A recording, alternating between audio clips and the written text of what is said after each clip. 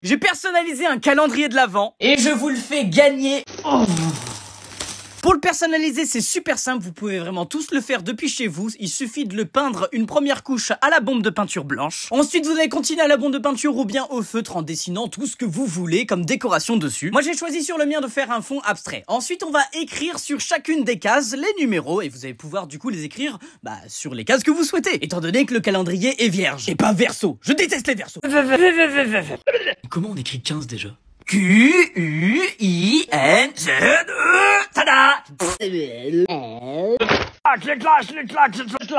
Je trouve plutôt stylé, lui. Et voilà. Et rentre. Allez Bon, et finalement, j'ai gardé le grand pour le 24, j'ai une idée. Et voilà, je l'ai écrit d'une manière un petit peu stylisée, mais surtout en négatif par rapport à tous les autres. Donc voilà, effectivement, il ressort. Le calendrier de l'Avent est enfin terminé. Et je vous le fais gagner. Toutes les informations pour participer sont